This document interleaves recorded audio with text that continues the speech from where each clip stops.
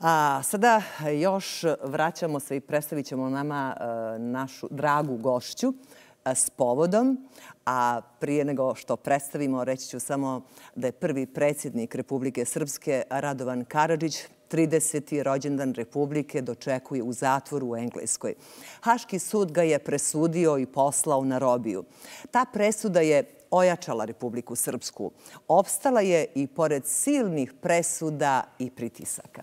Razgovaramo sa čerkom predsjednika, prvog predsjednika Republike Srpske, eh, Radovara Karadžića, gospođa Sonja Karadžić-Jovičević. Dobar dan, dobrodošli.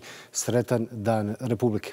Srećan dan. Hvala vam lijepo na pozivu. Bolje vas našla. Hristos se rodi i srećan i vama i vašim gledalcima 30. rođendan Republike Srpske. Hvala, vajstinu se rodi. Ja ću samo još dodati da je Sonja, znaju to naši gledalci, podpredsjednik Narodne skupštine. Tako je, podpredsjednik Narodne skupštine Republike Srpske. Sonja, molim vas ono što svakako interesuje sve u ovom trenutku. Da li ste se čuli sa ocem i kada i kako kako on doživljava ovaj 30. rođendan Republike Srpske. Vidim da su večernje novosti već objavile njegov autorski tekst.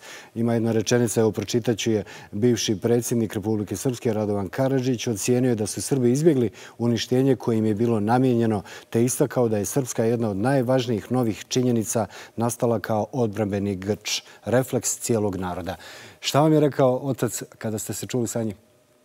Pa čula sam se nekoliko puta sinoć, čak i tokom akademije, tako da je mogao u direktnom prenosu preko telefona da čuje određene dijelove e, akademije, tako da i od muzičkih i od glumačkih e, sekvenci, ali jutro se zvao više puta i ja sam mu takođe e, iz hotela preko televizora uspjela da onako izvinjavam se svim onima koji su bili na spratu, pojačam vaš e, direktni program iz ovog studija, pa i neke od gostiju, jako drage kolege, prijatelje, saradnike, uspio i jutro su više navrata da čuje. Šta vam je kazao? E, da li ima neku poruku za građana?